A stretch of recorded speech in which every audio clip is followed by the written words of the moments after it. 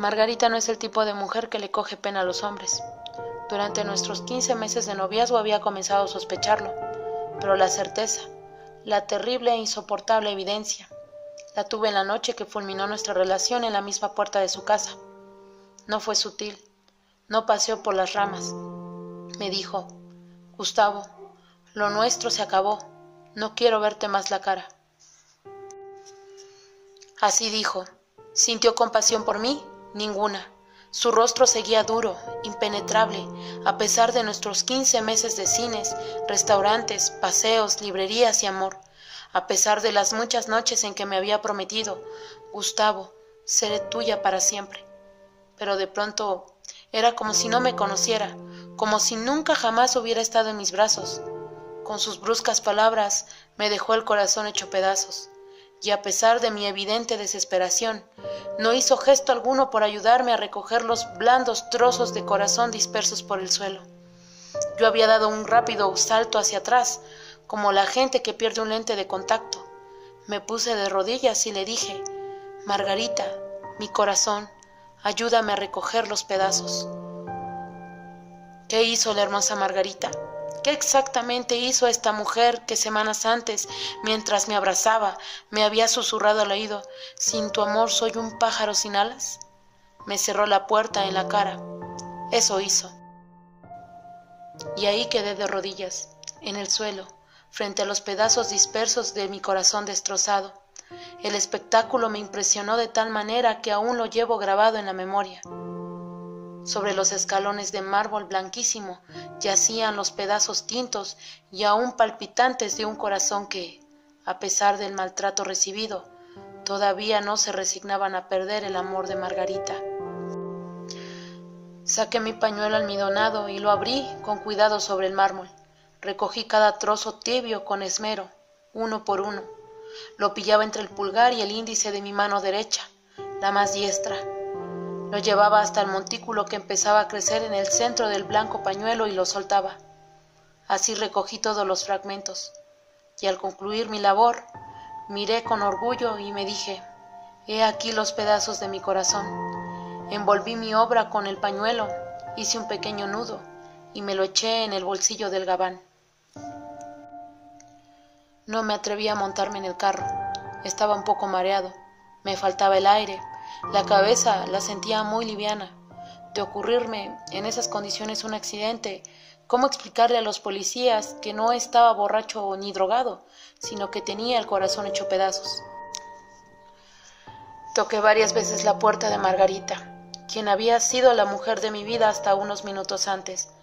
Pero esa bestia, me cuesta usar la palabra, pero no hay otra.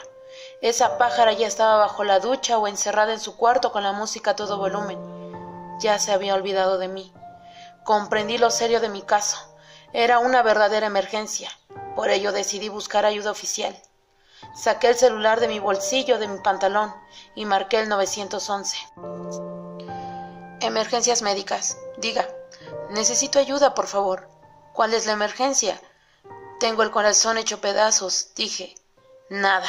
El imbécil me colgó el teléfono. Volví a marcar. Emergencias médicas. Diga.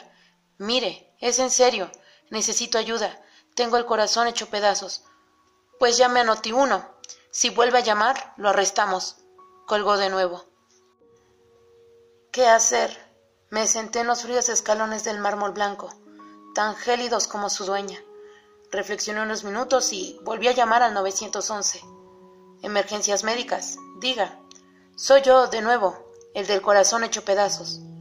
Estoy en la avenida Ponce de León número 900. Manda a los policías porque te seguiré llamando toda la noche, puta.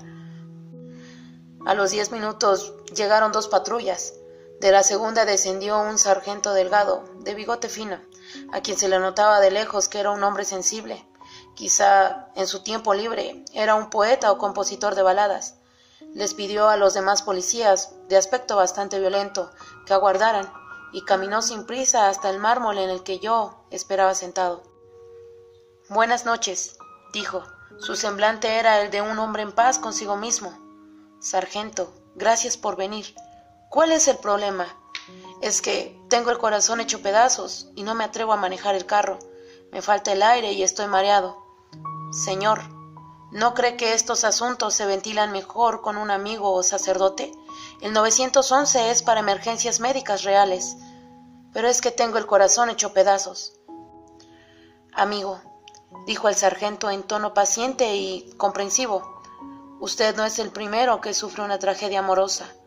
Yo le juré a mi novia que si me abandonaba, mi vida sería un continuo ir y venir, un perpetuo vagar sin sentido por el mundo, un purgatorio.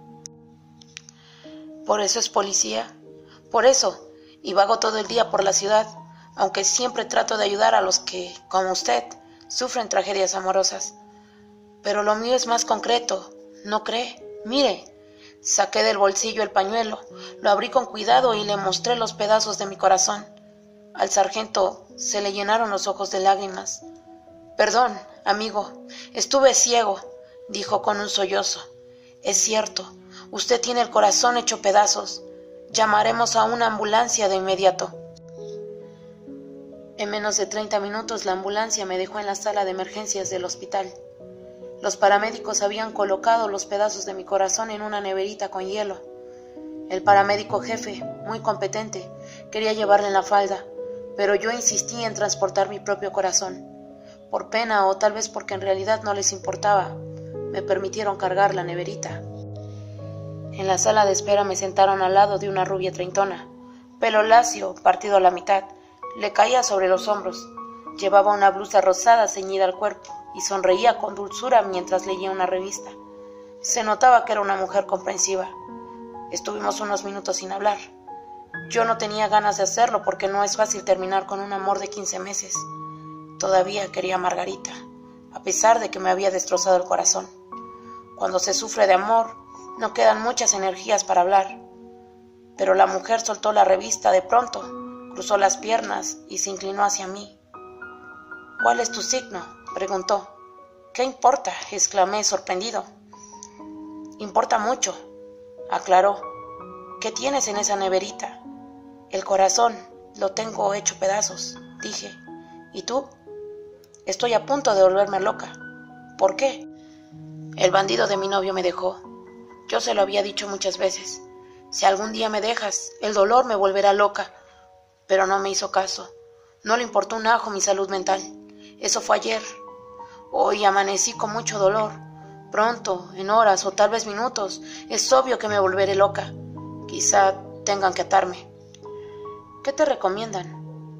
Electrochoque, terapia cognitiva conductista, pastillas, meditación, dieta macrobiótica vegetariana. Depende del psiquiatra. ¿Y a ti? Todavía no me ha visto el médico.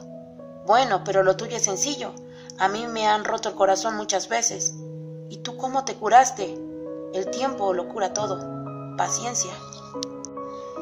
Cuatro meses después había empezado a acostumbrarme a la idea de vivir sin Margarita. Todavía la quería, pero me quedaba muy poquito amor. En escasas horas, tal vez en minutos, emitiría un último suspiro y la olvidaría para siempre. Pero debo admitir que en cierto modo soy rencoroso. Margarita ya me importaba poco, cierto, pero sentía ganas de vengarme de hacerla sufrir como yo había sufrido. ¿Acaso es fácil vivir con el corazón hecho pedazos? ¿Es poca cosa? Esa noche, pues, fui a la casa de Margarita. Aún tenía las llaves, las cuales esa engreída ni siquiera se había molestado en pedirme de vuelta. Probablemente había cambiado las cerraduras. Pero no, era la misma. Pude abrir la puerta de la sala. Nadie, en la esquina de la derecha, como siempre, el cono de luz formado por la lámpara que acostumbra dejar prendida cuando está en el cuarto. Entré a la habitación. Nadie, pero alguien se duchaba en el baño. Me acosté sobre la cama a esperar, con los brazos bajo la cabeza. Me sentía algo arrogante, y supongo que mi semblante era el de un envanecido desdeñoso, carcomido por el terrible deseo de la venganza. Ya me sentía casi libre de Margarita. Solo me quedaban pocos minutos de amor y los dediqué a contemplar la decoración del cuarto. No quedaba nada mío, ni una foto, ni un solo de mis regalos, como si yo no hubiera existido nunca. Tras una larga espera, salí al fin del baño. Estaba desnuda, tan perfecta como siempre, pero no me afectó su presencia. Era claro que el amor se me escapaba de prisa. Me miró con un gesto lacónico, sin expresión ni sorpresa. Olvidé pedirte la llave, dijo. ¿Viniste a traerla? Ah, eso, dije. Y otra cosa mucho más importante. Ah, ¿qué? dijo sin miedo. No estaba preocupada por mi presencia en la habitación. No se molestó en cubrir su relumbrante cuerpo desnudo. Así de poco me respetaba. Vine a decirte que me quedan poquitos segundos de mi amor por ti. Todavía te quedan, soltó la carcajada. Qué lento eres. De todos modos, a mí qué me importa. Deja la llave y vete. Sé que no recuerdas lo que me prometiste. Yo mismo he olvidado mucho en estos meses, pero hay una promesa tuya que no puedo olvidar. Me pareció linda en aquel entonces. ¿Cuál? Me dijiste, sin tu amor soy un pájaro sin alas. Pendejadas, dijo ella. Ahora vete, pronto vienen a buscarme. Antes escucha. ¿Qué cosa? Hazme el favor y sal de mi casa. Espera, escucha, escucha bien. ¿Qué dices? Silencio ahora. Ahora, oye. Tonto, ¿qué? Calla, carajo.